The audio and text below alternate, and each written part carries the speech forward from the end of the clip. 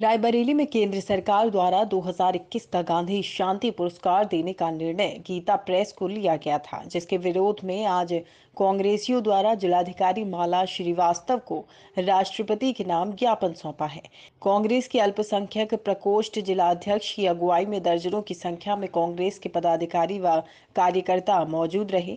दरअसल केंद्र द्वारा 2021 के गांधी शांति पुरस्कार द्वारा गीता प्रेस को सम्मानित किए जाने का मामला रायबरेली में कांग्रेसियों द्वारा राजनीतिक रूप दिया जा रहा है। आज कांग्रेस के अल्पसंख्यक प्रकोष्ठ के जिलाध्यक्ष मोहम्मद उमर की अगुवाई में दर्जनों की संख्या में कांग्रेसियों ने डीएम माला श्रीवास्तव को राष्ट्रपति के नाम ज्ञापन देकर गीता प्रेस पर गंभीर सवाल खड़े किए हैं।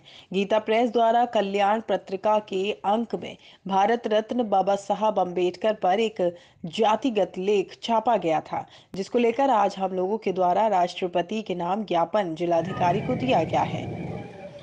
जी, मैं मोहम्मद उमर, कांग्रेस अल्पसंख्यक प्रकोष्ठ रायबरेली का जिला अध्यक्ष हूँ।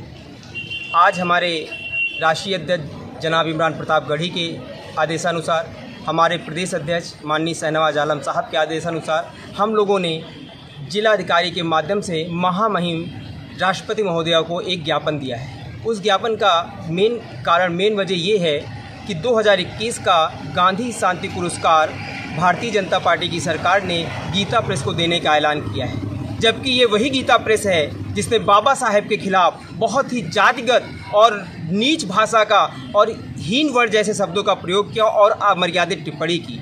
मैं इस ज्ञापन के माध्यम से महामहिम राष्ट्रपति महोदया को अवगत कराना चाहता हूँ और उनसे अनुरोध भी करता हूँ कि जो पुरस्कार केंद्र की सरकार ने गीता प्रेस को देने का ऐलान किया है, उसे रोका जाए, क्योंकि इससे समाज में बहुत ही नफरत फैलती है। हमारे जननायक राहुल गांधी जी ने कहा है कि हम लोगों को नफरत छोड़ के मोहब्बत के रास्ते पे काम करना है, और वहीं एक तरफ़ भारतीय जनता पार्टी की सरकार एक ऐसे प्रेस को शांति पुरस्कार देने जा रही, गांधी शांति पुरस्कार देने जा रही है, जो संविधान के शिल्पी, संविधान के जनक हमारे बाबा साहेब अंबेडकर के खिलाफ बहुत ही अमर्यादित टिप्पणी की थी। अगर इस ज्ञापन के माध्यम से कुछ न हुआ तो हम लोग पूरी अल्पसंख्यक प्रकोष्ठ, पूरा कांग्रेस एकजुट होकर सड़कों पर उतरेगा और जो गांधी शांति पुरस्कार गीता प्रेस को देने का ऐलान किया गया है, उसके विरोध में हम लोग एकजुट होकर इसका विरोध करेंगे। बहुत बहुत धन्यवाद।